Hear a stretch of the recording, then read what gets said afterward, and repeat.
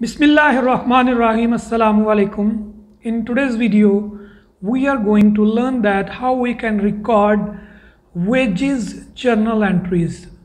We will see the individual labor wages payment, how we can record the journal entry, and also we will see the collectively that if we have 10 laborers in our company, so how we can record the journal entries of their wages. So let's start with the beginning from the individual. Here we have a wages sheet here for an individual who is a stitcher okay we are going to make payment to him. His gross wages he earned is 670 and here we have deductions like he has a mess deduction 100 and advance 200 so the net payable 370 which we need to pay him.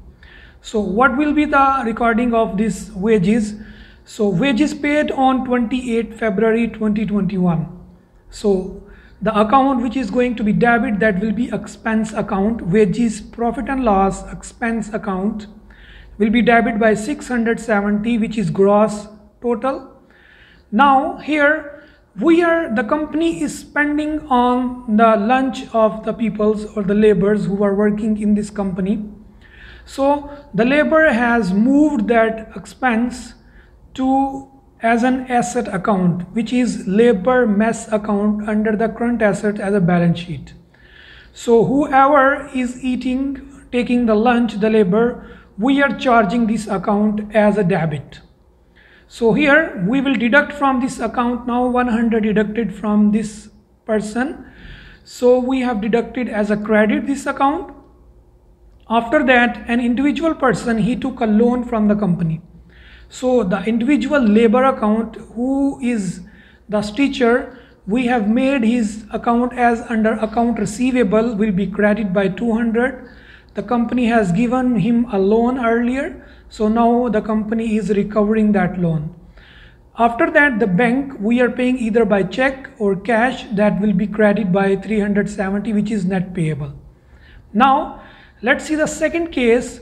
The same person, we have the sheet here but we are paying the February wages in March.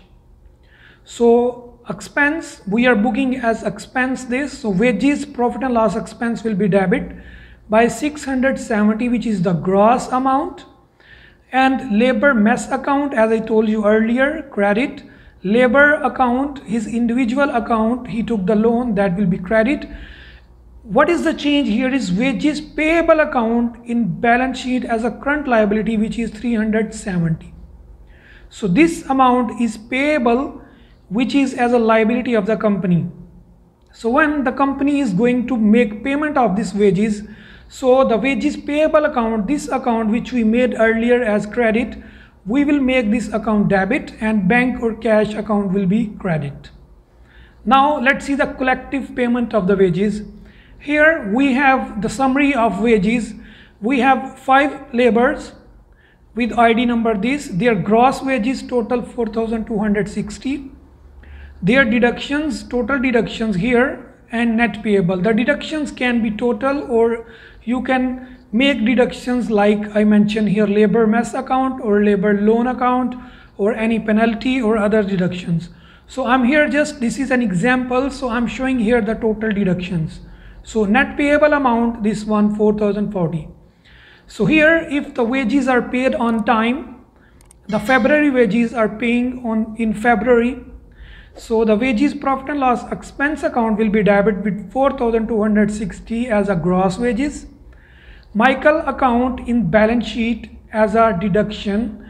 So that will be 80 because the mess or all the deductions which are made from the individual person like even if it is mess even it is fines or penalty even it is a loan we always debit to his account. So now we are deducting from his account. So the michael account balance sheet 80 will be credit 60 j will be credit 20 anna will be credit sam 30 and sai will be 30 so the total 220 deductions will be credit at the end, we are paying this amount by cash or bank, so that account will be credit.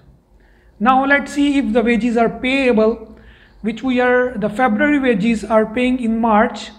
So wages expense account with the gross value will be debit.